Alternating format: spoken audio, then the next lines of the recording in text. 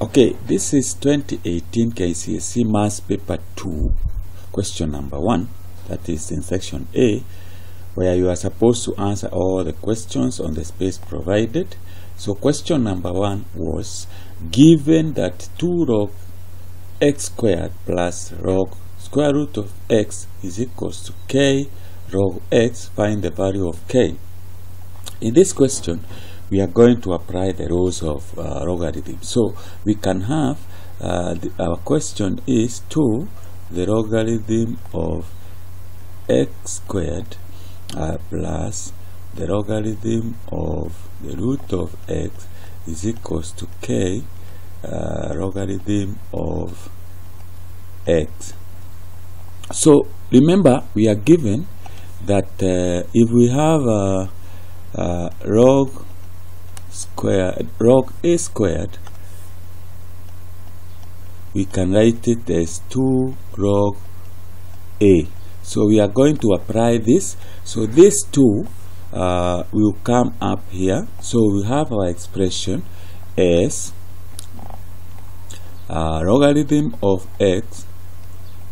Now because 2 times 2 is 4 so it is logarithm of x to power 4 plus uh, logarithm of now logarithm of the root of x can be written as logarithm raised to power a half that is the same as root and this will be the logarithm of x raised to power k. Uh, applying the first law of uh, uh, logarithm we can write this as a single logarithm that is the left hand side here we write it as the logarithm. When we have plus we write uh, it is x to power 4 multiplied by x to power a half. So that's how you write it. Is equals to the logarithm of x to power k.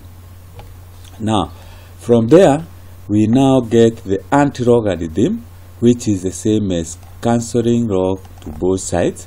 And x times a half this will be uh, x. We add 4 and a half because we have a common base.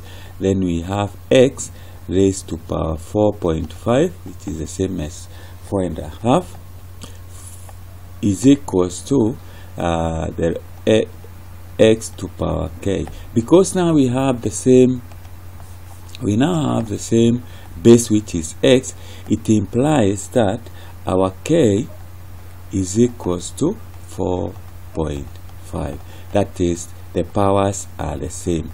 So if we have x to power raised to power uh, 4.5 is equals to x to power k then the same as 4.5 and that is how you do that question. And